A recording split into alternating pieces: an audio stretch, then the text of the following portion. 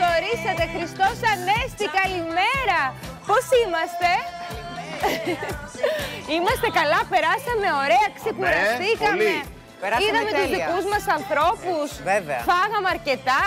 Καλημέρα, Φέη. Όλα καλά; Χρόνια πολλά, Χριστός Ανέστη. Αληθώς ο Κύριος.